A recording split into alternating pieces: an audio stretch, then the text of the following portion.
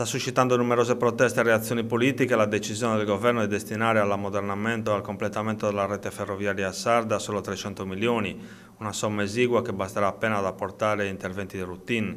Questo in una regione in cui è presente l'unico capoluogo di provincia italiano, Nuoro, non servito dalle ferrovie dello Stato.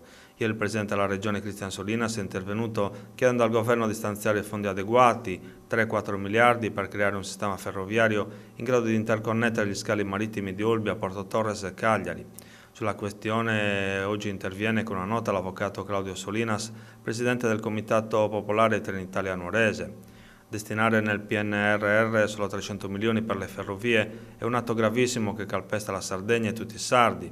Ieri il Presidente della Regione ha chiesto una netta presa di posizione del Governo rispetto alle decisioni della sua controllata rete ferroviaria italiana.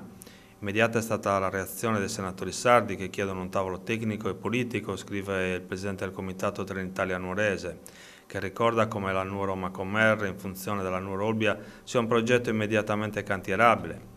Sono stati indicati costi e tempi, è un progetto sostenibilissimo dal costo di 114 milioni di euro, ribadisce l'avvocato Solinas. Esiste la linea, vanno allargati i binari di 50 cm, sono state smussate le curve, non ci sono espropri da compiere, la Regione si è obbligata a cedere la linea.